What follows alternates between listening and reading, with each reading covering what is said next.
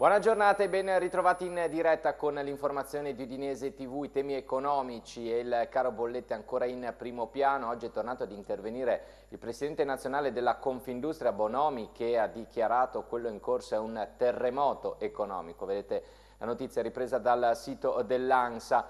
Eh, non possiamo aspettare due mesi, il cuneo fiscale si può tagliare, ha detto il numero uno degli industriali italiani quello che eh, noi stiamo affrontando è un terremoto economico, appunto il governo poi deve intervenire, non possiamo aspettare l'arrivo del nuovo governo per affrontare un problema di questa dimensione che vuol dire mettere a rischio il sistema industriale italiano, mettere a rischio il reddito e l'occupazione delle famiglie. E a proposito di Confindustria, ieri a richiamare l'attenzione della politica regionale anche la Confindustria Alto Adriatico con il presidente Michelangelo Agrusti che ha incontrato l'assessore regionale alle attività produttive Sergio Emidio Bini, il servizio. La Regione e Confindustria Alto Adriatico gettano le basi per un'alleanza tra istituzioni e imprese finalizzata ad affrontare la crisi energetica. Il tema è stato discusso oggi a Pordenone, in un incontro tra l'assessore regionale alle attività produttive Sergio Emidio Bini e il Consiglio di Presidenza degli industriali. Al centro del confronto il caro energetico, che sta delineando una situazione drammatica per il manifatturiero in Italia e nel centro Europa, con questi presupposti, Confindustria ha istituito e presentato oggi una task force composta da Polo Tecnologico Pordenonese e da un gruppo di energy manager e consulenti finanziari che sono già al lavoro per mettere a punto soluzioni per affrontare l'autunno. La Regione ringrazia Confindustria Alto Adriatico per aver dimostrato per l'ennesima volta la capacità di reazione che la stessa ha nel, nell'affrontare eh, crisi eh, come purtroppo l'attuale caratterizzata dal caro, dal caro energia. La Regione Friuli Venezia Giulia in verità ha già messo a disposizione delle misure eh, significative per quanto riguarda sia i fondi perduti a sostegno delle micro e piccole imprese e medie imprese del Friuli Venezia Giulia, ha già attivato delle nuove linee di contribuzione a fondo perduto per chi volesse investire in quelle che sono le energie eh, rinnovabili, la Regione Friuli Venezia Giulia eh, si farà sicuramente portavoce tramite il sottoscritto con la commissione competente, ma insomma eh, abbiamo la fortuna di avere il governatore che è anche presidente della commissione eh, eh, delle regioni, insomma di portare le istanze direttamente al governo. Qua c'è bisogno di un gioco di squadra importante, il momento è davvero drammatico, è davvero difficile. Io penso che l'Italia è un paese che ha dimostrato durante la sua storia di essere stata capace di tirarsi sulle maniche e, e di rialzarsi e lo farà anche quest'anno. C'è un problema, tempo, non abbiamo più tempo. Sul fronte occupazionale poi timori per il futuro della Varzela e dei suoi lavoratori a Trieste non ha attraccato stamani la UHL Fusion, la nave da sabato in rada nel Golfo Triestino che deve caricare i 12 motori prodotti dalla Varzila da consegnare alla Daewoo in Corea, in Corea del Sud. Dunque non si è tenuto nemmeno il presidio da parte dei lavoratori dello stabilimento di Bagnoli della Rosandra che era già stato organizzato in previsione. Dopo che si era diffusa la voce di un suo arrivo in banchina, ieri poi successivamente era circolata insistentemente la voce che la UHL Fusion sarebbe rimasta in rada. Ieri dalla nave era partita una richiesta di ormeggio nel canale navigabile definita come sosta tecnica che era stata autorizzata ma poi si è deciso di fare diversamente. I lavoratori della Varzila avevano appunto già organizzato il presidio sul canale navigabile che non si è eh, concretizzato. Parlava l'assessore regionale Bini dell'aumento dei costi dell'energia, del metano, ma anche quello della legna da riscaldamento che scarseggia. Il Friuli Venezia Giulia è una regione ricca di boschi, ma nell'immediato non possono essere una soluzione alla mancanza di materia prima. Abbiamo fatto il punto con Carlo Piemonte, presidente della cooperativa Legno Servizi.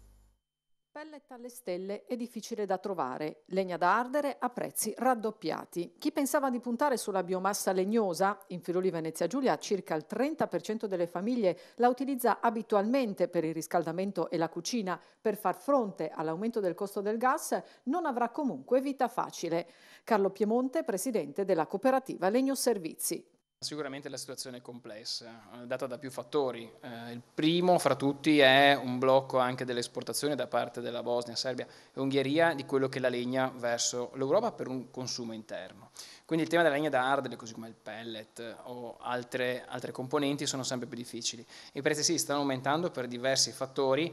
Va detto che come Friuli Venezia Giulia i contatti sono costanti, continui, ma la vera sfida è come poter essere ancora più incisivi offrendo al nostro territorio materia prima importante. Nei boschi del Friuli Venezia Giulia il legno non manca, anzi, negli ultimi 50 anni la superficie boscata della nostra regione è quasi raddoppiata, ma il suo utilizzo è una corsa a ostacoli. Sicuramente si potrebbe fare di più in un'ottica di responsabilità. Eh, tagliare i boschi, una pianificazione responsabile non vuol dire distruggere gli ecosistemi, ma vuol dire gestirli. La cosa peggiore è lasciarli abbandonati. Un bosco abbandonato porta eh, rischi, tra cui il rischio incendio, porta eh, rischi fitosanitari come il bostrico, dobbiamo tagliare di più e meglio. Si stima che vengono tagliati 300.000 metri cubi di legname rispetto a una crescita di un milione di metri cubi in questa regione di legno. Se nei nostri boschi avessimo delle infrastrutture stradali adeguate gestite e pianificate in modo responsabile. Se riuscissimo ad attivare tutti quei sistemi di filiera che guardano alle imprese boschive del territorio e alle segherie di prossimità che usano il nostro legno, sicuramente riusciremo a introdurre più materiale nelle filiere. La sfida è la proprietà dei boschi, che sia pubblica che privata. In molti casi purtroppo la proprietà privata è talmente frazionata, talmente piccola, di cui certe volte non si sa neanche dove siano gli eredi, eh, che questo complica le cose. Intanto mancanza di materia prima, ma soprattutto il caro energia, stanno minacciando anche la filiera del legno arredo. Nel giro di pochi giorni la situazione è precipitata, dice Claudio Feltrin, presidente di Federlegno Arredo. Il fermo produttivo delle aziende che producono pannelli, primo anello della catena, rischia di portare a ottobre al blackout dell'intera filiera.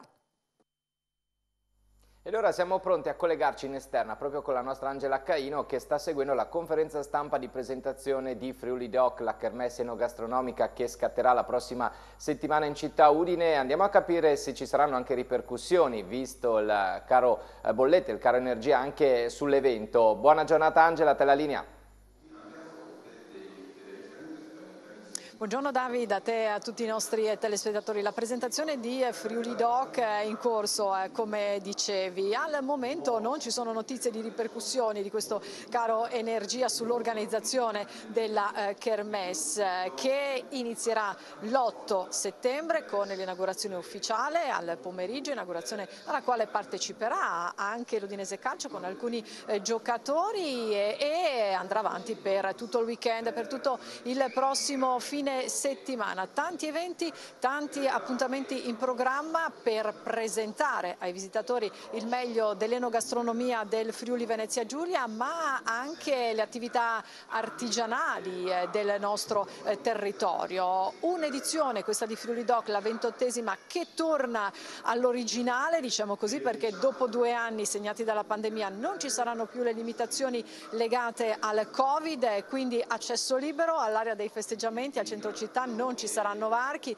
la somministrazione ritorna diciamo così, alla normalità, non sarà più obbligatoria la consumazione seduti ai eh, tavoli, insomma un, friul, un eh, Friuli Doc che cerca e vuole eh, ripartire dopo due anni appunto segnati dalla eh, pandemia, coinvolgendo tutto il eh, territorio e eh, tutti gli operatori della città di Udine. E non solo, una rinnovata sinergia anche con i ristoratori. Allora andiamo a sentire proprio le parole dell'assessore comunale ai grandi eventi Maurizio Franz che ci ha tratteggiato un po' le novità di questa edizione di Friuli Doc. Sentiamo l'intervista e poi la linea allo studio. Assessore Franz, pronti per partire per questa ventottesima edizione di Friuli Doc in programma dall'8 all'11 settembre, quali le novità? Beh, io ritengo che ci siano tutti i presupposti per una grande edizione di Friuli Doc 2022 perché ci sono innanzitutto, dopo due edizioni che erano state caratterizzate dal Covid e quindi da forti restrizioni, quest'anno finalmente la situazione comunque, anche se naturalmente andrà attentamente monitorata, però non ci saranno tutte le limitazioni che avevano purtroppo caratterizzato le passate edizioni.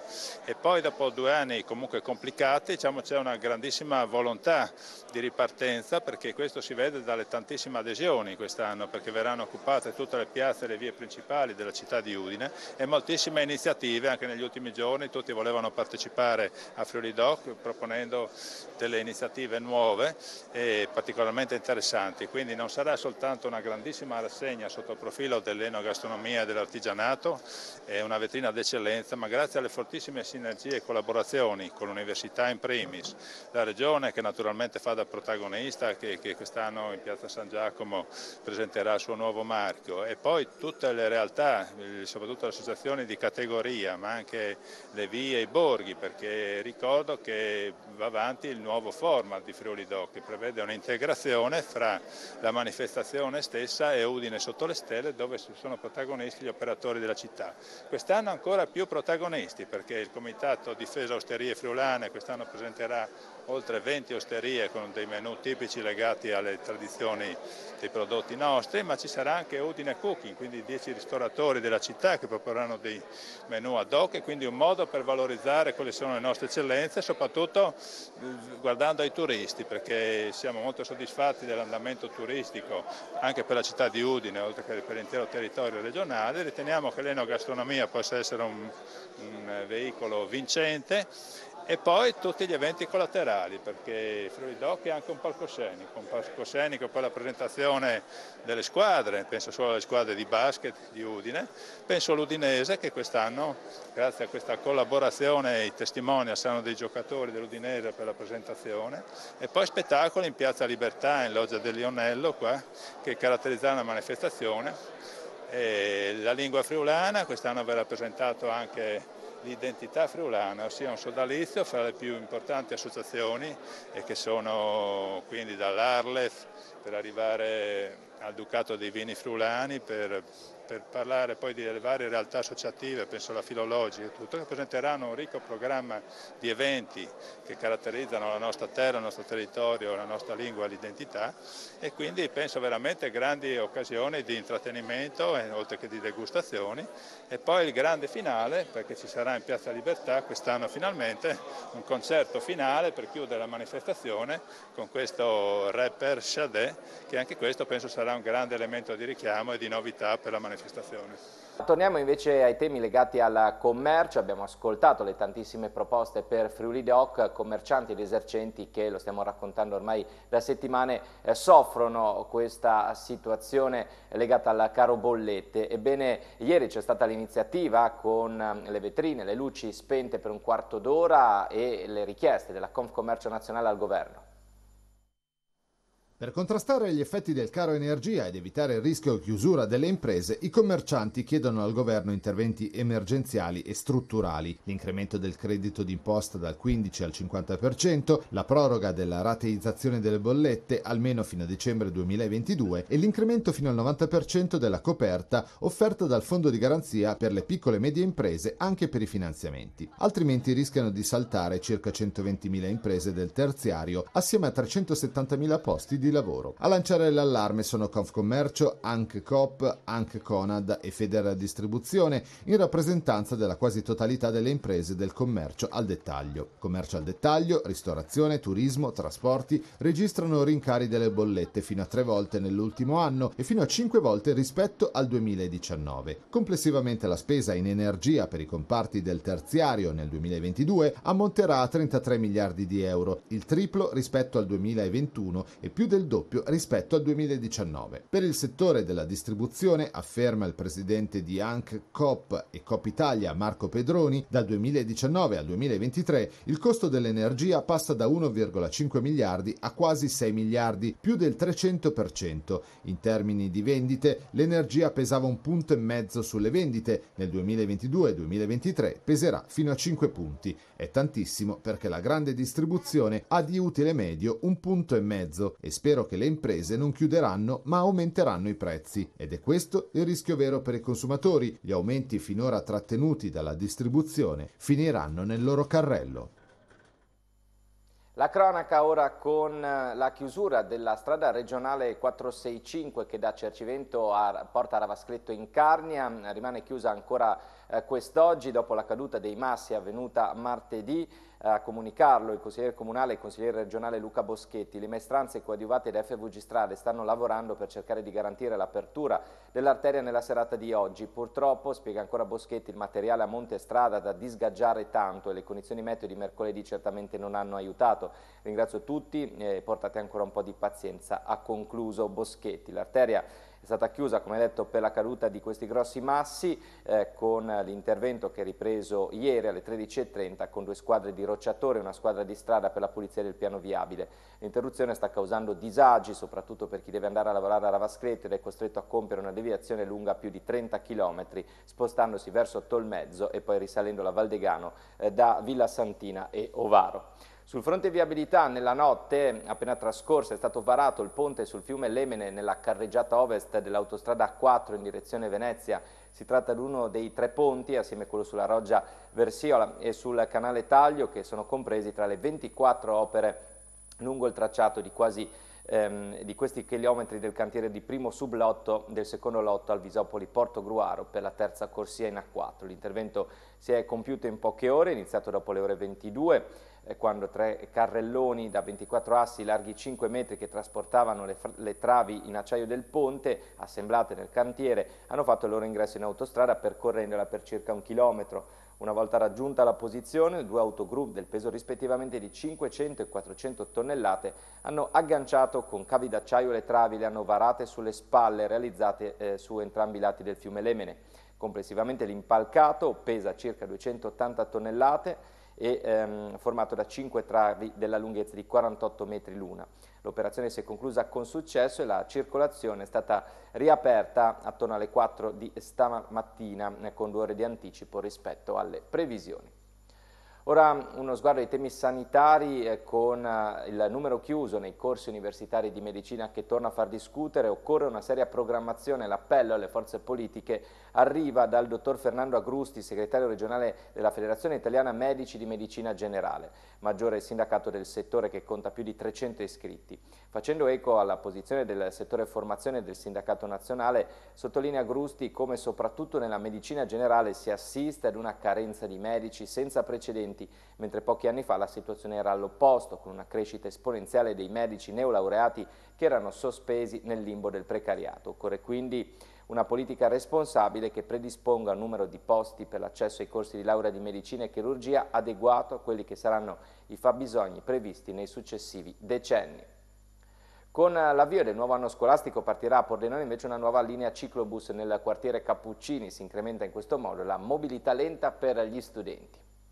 Grazie alla collaborazione tra amministrazione comunale, associazione Piccoli Passi e FIAB, con il nuovo anno scolastico partirà una nuova linea ciclobus nel quartiere Cappuccini a Pordenone. In queste due settimane che precedono il suono della prima campanella si terranno i lavori per mettere in sicurezza il tracciato per i giovani ciclisti. Come illustrato dall'assessore all'urbanistica Cristina Amirante, si tratta di piccoli interventi all'altezza del cimitero. Sarà messo in sicurezza l'attraversamento pedonale di fronte al cimitero in sostituzione sostituzione delle attuali provvisorie isole in plastica verranno realizzate nuove isole spartitraffico in calcestruzzo con successivo riempimento in terra ed infine sul lato cimitero, separata da doppio cordolo sempre in calcestruzzo, verrà realizzato un tratto di una cinquantina di metri di pista ciclabile larga 2 metri. Durante i lavori, che indicativamente dureranno due settimane meteo permettendo, sarà sempre garantita la circolazione veicolare con la sola restrizione della careggiata, limite 30 km orari. La nuova linea ciclobus diventa così la seconda in città dopo quella del quartiere Valle Noncello. Entrambe si affiancano a ben 15 linee di pedibus. E alla scuola Pierpaolo Pasolini di Pordenone è stata inaugurata un mare di libri, la nuova biblioteca scolastica al cui progetto hanno collaborato il Comune e la Fondazione Pordenone Legge. Torna la campagna Amici di Pordenone Legge, la storica iniziativa crowdfunding per sostenere la vicinanza al festival e al tempo stesso prenotare il proprio posto agli appuntamenti. 530 i protagonisti, più di 300 gli eventi in programma, ai quali da venerdì fino a giovedì 8 settembre sarà possibile prenotarsi aderendo alla campagna Amici di Pordenone Legge. Da quest'anno poi per agevolare l'iscrizione e la prenotazione sarà possibile effettuare già da ora una pre-registrazione sul sito con l'opportunità di creare in un'area riservata la lista degli incontri preferiti. Scompariranno anche i vecchi codici sostituiti dagli ingressi, che il nuovo sistema scalerà in automatico a ogni prenotazione. Intanto da domani via libera anche alle scuole che potranno riservare i posti per gli incontri dedicati ai giovani lettori e lettrici. Sarà poi un vero e proprio click weekend, quello che riguarderà le giornate di sabato 10 e domenica 11 settembre, quando si apriranno anche le prenotazioni libere per i posti ancora disponibili. Pordenone legge che mm, sta scorrendo il suo conto alla rovescia con anche le iniziative diffuse sul territorio. Il caso di San Vito al Tagliamento, due gli appuntamenti in programma. Il Festival diffuso di Pordenone Legge prevede due appuntamenti al Cassavito al Tagliamento per vivere la ventitresima edizione del festival, spaziando da una sede all'altra in una sorta di nomadismo culturale. Un'occasione per vivere Pordenone Legge sul territorio e scoprire un Friuli accogliente e generoso di sapori, paesaggi e tradizioni. Saranno due gli incontri in centro a San Vito al Tagliamento che riporteranno le atmosfere di Pordenone Legge. Anche l'arredo urbano sul territorio si coordinerà al clima giallo-nero del capoluogo. Sabato 17 settembre alle 18.30 riflettori si accenderanno al Teatro Arrigoni per l'incontro dal titolo Dallo spreco zero alla dieta mediterranea, con l'agroeconomista Andrea Segre che in dialogo con la giornalista Marinella Chirico ripercorrerà le tappe di una ricerca ultraventennale sui temi della prevenzione degli sprechi e dell'educazione alimentare al consumo. Domenica 18 settembre alle 18 la cantante Francesca Michelin farà tappa all'auditorium comunale e in dialogo con la curatrice di Pordenone Legge Valentina Gasparet presenterà il suo libro d'esordio dal titolo Il cuore è un organo. Ci trasferiamo ora nel Veneto orientale a Concordia Sagittaria, dove è stata accolta una richiesta di contributo per la riforestazione del Bosco delle Lame. Il Ministero della Transizione Ecologica ha accolto la proposta della città metropolitana di Venezia che riguarda il finanziamento di 1.348.699 euro per la realizzazione di sette interventi di forestazione urbana nei comuni di Venezia, Martellago, Scorzè, Musile di Piave e Concordia Sagittaria. Come spiegato dal sindaco di Concordia Claudio Odorico, gli interventi vengono finanziati dal PNRR grazie ad un progetto confezionato in tempi stretti da un gruppo di lavoro interdisciplinare coordinato dagli uffici della città metropolitana con il supporto dei comuni comuni che hanno dato disponibilità delle aree, un passo avanti per il territorio che compie a beneficio dell'ambiente e della sostenibilità. Il comune di Concordia Sagittaria vedrà l'ampliamento del bosco delle lame a sindacale con 5.400 piante per un importo di spesa di 232.011 euro. Le nuove aree saranno realizzate su tre appezzamenti separati per una superficie interessata complessiva di 5,40 ettari in un'area pianeggiante su terreni attualmente incolti e invasi da vegetazione infestante, prive di vegetazione arborea in un ambito di bonifica attraversati da una fitta rete efficiente di scoline e in vicinanza a canali consortili. E apriamo proprio la pagina degli spettacoli con la mostra del cinema di Venezia, con White Noise c'è stata un'apertura all'insegna di Netflix, per la prima volta un film della società americana ha inaugurato la rassegna cinematografica della Laguna. Vediamo il report dopo la prima giornata. La mostra del cinema di Venezia festeggia 90 anni.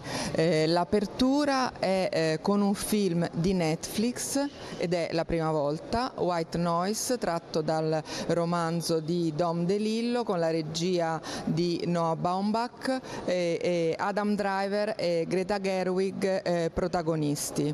Il, il, ruolo di Netflix e degli altri streaming è, è quanto mai centrale, se ne è parlato anche ieri in un panel con il nuovo CEO dell'Academy of Motion Pictures, eh, Bill Kramer sono ormai eh, degli eh, attori fondamentali, protagonisti del sistema produttivo cinematografico. Venezia da sempre ha dimostrato apertura, eh, lungimiranza, libertà.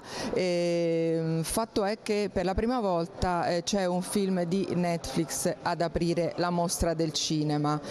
Il, comincia una lunghissima maratona di film fino a al eh, 10 di, di, settembre con il Leone d'Oro e ehm, sono 23 solo per quanto riguarda il concorso, di cui 5 con eh, registi italiani. Eh, Bones and All di Luca Guadagnino che porterà al Lido il super divo de, amato dai ragazzi Timothée Chalamet e Pallaoro, il regista Andrea Pallaoro con Monica, entrambi questi film girati in America, film internazionali, eh, Il Signore delle Formiche di Gianni Amelio con Luigi Locascio protagonista.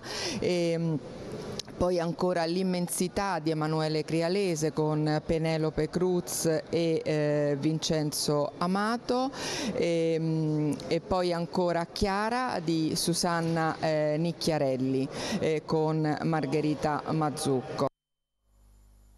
Naturalmente la mostra del cinema la continueremo a seguire nei nostri notiziari anche con eh, degli speciali che andranno in onda nei prossimi giorni anche con una, una, puntata speciale proprio dal Lido per mostrarvi il red carpet. Ora invece torniamo alla Dacia Arena dove eh, non eh, sono cessati i festeggiamenti per la vittoria di ieri contro la Fiorentina, un'ottima prova dei bianconeri di mister Sottil con Alessandro eh, Surza. Andiamo a riavvolgere il nastro rispetto a quello che è successo ieri sera. Buongiorno.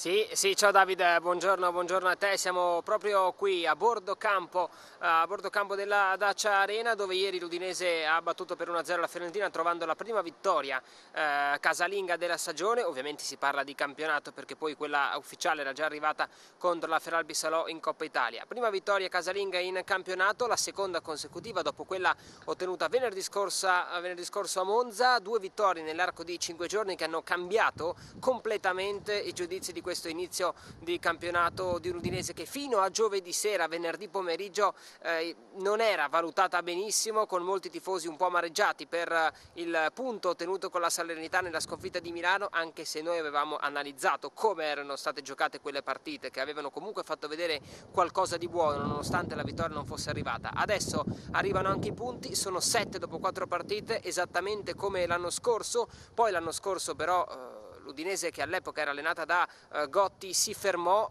questa volta non deve accadere. L'unica nota purtroppo molto molto negativa è l'infortunio che pare molto grave di Adam Masina, eh, stiamo aspettando tutti quanti di capire eh, se ci sono novità, se ci sono sviluppi, gli, esami, gli esiti degli esami dovrebbero arrivare in, in, serata, quindi già tra la sera di oggi e la mattina di domani noi eh, potremo darvi aggiornamenti per quello che sul momento è parso un brutto infortunio e speriamo davvero che eh, non sia così e quindi che Adam Masina possa davvero a breve tornare in uh, gruppo. La squadra oggi si è allenata, chi ha giocato ieri ha fatto una seduta di scarico, chi non ha giocato ha fatto una sgambata contro la formazione primavera, quindi Udinese che non si ferma e mette adesso già ovviamente nel mirino la gara contro la Roma, sempre qui domenica alle 20.45. Prima di salutarti però andiamo a rivivere insieme nel servizio di Stefano Giovanpietro la sintesi proprio del match di ieri, 1-0 col gol di Beto tra Udinese e Fiorentina.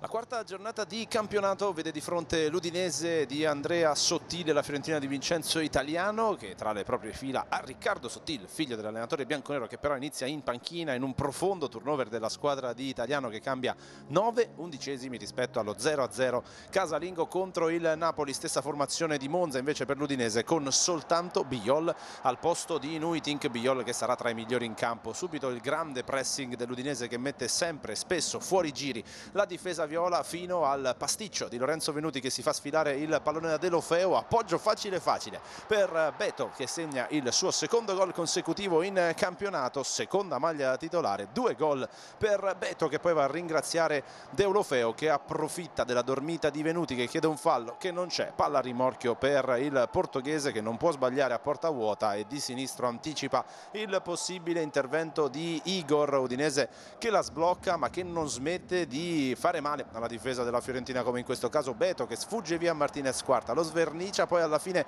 costretto a decentrarsi sull'arrivo di Venuti, colpisce addosso a Terracciano che comunque è molto bravo in uscita a chiudere lo specchio al portoghese che va vicino quindi alla doppietta personale, Udinese che continua il primo tempo una sorta di monologo in aggressione alla difesa della Fiorentina, qui Lovric è molto bravo a sfuggire a Martinez quarta e poi a calciare con il destro pallone che finisce però abbondantemente sul fondo. La risposta della Fiorentina arriva con un solo tiro in porta ma fa paura ed è la capocciata di Martinez, quarta disinnescata da un grandissimo intervento di Marco Silvestri che mantiene il risultato sull'1-0 per la formazione di Andrea Sottil che poi si difende sull'assalto finale della prima frazione della squadra viola ma perde purtroppo. Adam Masina che qui si sacrifica, si immola per anticipare Cabral di testa, subito il dolore poi l'uscita in barella, da capire l'entità l'entità dell'infortunio del difensore ex Bologna e Watford. Udinese che però continua a spingere con Deulofeo che scambia con Pereira, bravo e coraggioso Terracciano ad uscire basso sui piedi del catalano che poteva colpire all'interno dell'area piccola. Nella ripresa continua la pressione strepitosa dell'Udinese, Udoge sradica palla a un suo avversario, serve Deulofeo che scucchiaia per Pereira, cerca il gol d'antologia, il numero 37 ancora utilizzato largo sulla fascia destra ancora una volta con grandissimi risultati. Entra Samarzic che sradica un pallone a centrocampo, serve Deulofeo che arriva un po' stanco all'appuntamento con il tiro, botta centrale facile per Terracciano che si rifugia in calcio d'angolo, riapprezziamo il destro di Deulofeo che cerca il primo palo, tiro che esce però parecchio centrale, sempre Samarzic poi a condurre un contropiede, siamo proprio al 94esimo, Udoge palla deviata che arriva a Success che deposita in rete il gol del 2-0, esultanza interrotta però dalla bandierina alta del guardalino dopo un rapido check, si vede la posizione di fuorigioco dell'ex Watford, quindi 2-0 che viene annullato ma la partita è praticamente finita, può festeggiare il pubblico di Fede Bianconera, seconda vittoria consecutiva in campionato per Sottil. E Udinese che sale a quota 7 punti, il viatico migliore per arrivare alla Roma. Oggi tra l'altro ultimo giorno di calciomercato e noi lo seguiremo con uno speciale che andrà in onda questa sera mm, con eh, la nostra redazione sportiva protagonista a partire dalle ore 21.15 in diretta Stefano Giovanpietro, Alessandro Surza, Rino Busato e Max Moras per tutte le ultimissime e gli affari dell'ultimo minuto. Sarà preceduta alle 20.45 dalla puntata di Fair Play dedicata alla guerra del gas con Francesco eh, Pezzella. Per quanto riguarda l'informazione invece nuovo appuntamento live alle 16 e poi il TG Serale alle 19.15. Grazie per averci seguito, buona giornata a tutti e spazio alle previsioni del tempo.